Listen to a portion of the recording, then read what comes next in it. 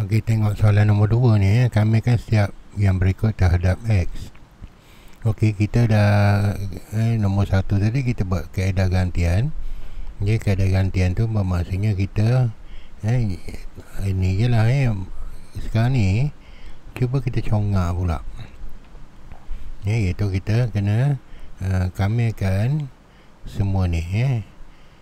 Uh, uh, cikgu tulis kat uh, sini je lah ya. Kami akan ungkapan ni terhadap X. So, apa yang perlu buat sebenarnya adalah eh, kita salin je ni 4X tambah 5 kita kuasa kita kita tambah. And then kita perbalik dengan yang kuasa tadi.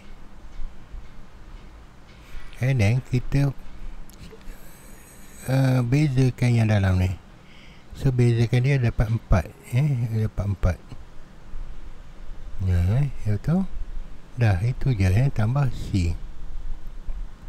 Ya kalau kita tengok yang tadi kalau kita itu eh, sebenarnya adalah ini adalah dx iaitu du per 4. Ha du per 4 ni. Eh 5 ni macam biasalah yang ni turun eh yang ni dia u kita ambil ganti balik yuan.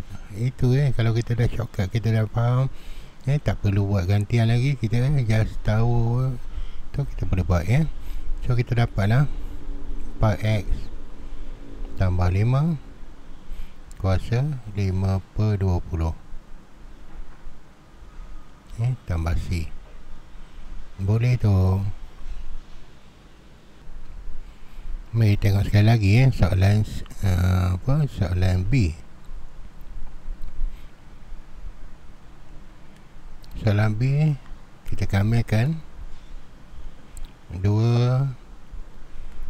3x tolak 2 kuasa 3 ok so tengok eh. Ini nombor 2 kita boleh letak luar aja eh. So kita salin yang ni. Eh dua. And then kita salin je yang ni. 3x tolak 2 tambahkan 1 perbalik dengan indeks ni. And then di bawah ni pun nak kita bezakan yang dalam bracket tadi. Anggap kita uh, bezakan u tadi. So kita dapat 3 Nah, kita just kemaskan lah. Ini tambah C. Ini kemaskan. Ini 12 Ini 1 So Dapatlah 6 je bawah so Dia dapatlah 3X Tolak 2 Kuasa dengan 4 Per dengan 6 tambah C. Ini tengok C. C adalah 5x tolak dengan 11 kuasa 4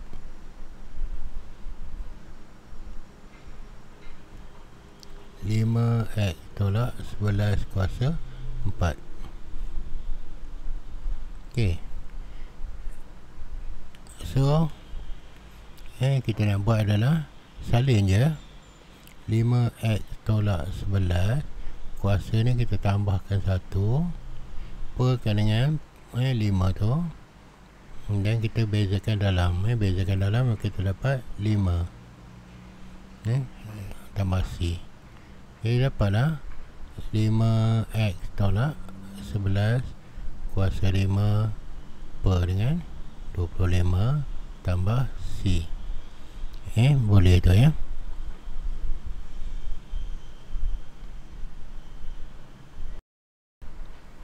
Okey, soalan D. Hmm, kita kamilkan 2x 3x tolak dengan 2 kuasa dengan 5 per dengan 5 terhadap dx. Okey. So just eh ini adalah nombor kita just keluarkan je 1 per 5 tu. Ni kita tinggal ni je, eh salin je yang tu. 3x tolak 2 tambahkan 1 eh, jadi 6 and then berbalik dengan nombor ni and then uh, bezakan dalam eh, bezakan dalam dapat 3 Nah, eh. So just kemas lah itu. Eh ini 30 5 kali 6 30 30 kali 3 90 Kita dapatlah 3x Tolak 2 kuasa 6 Per dengan 90 Tambah C. Ok E tu eh, 5 Per dengan 6x tolak 3 6x tolak 3 kuasa dengan 6 eh, kami akan terhadap dx ok 5 nombor eh, tak kisah yang ni kita naik atas. Eh, bayangkan je eh, naik atas. Eh, cikgu tulis sini lah eh, you all ni. Boleh je eh, ok kuasa dia naik atas. Ha, macam tu eh. so jadi kita dapatlah 6x salin je. Kita tambah 1 tadi negatif 6 tambah 1 dapat negatif 5 kita per balik dengan eh, yang indeks baru tu. And then kita bezakan yang dalam. Bezakan dalam dapat 6 tambah C. Tu je ya. So kita kemaskan. 5 cancel. So tinggal lah ni kita turun balik. Eh atas satu dah tinggal. So dapat 6x tolak. 3 kuasa. 5 ok ini cancel. Ini 6 ada lagi bawah eh sebab kita cancel baru 5 eh 6 ada eh 6 kat bawah.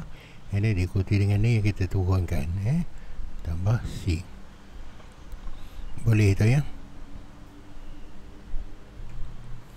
Dan terakhir adalah F pun sama eh F tu 12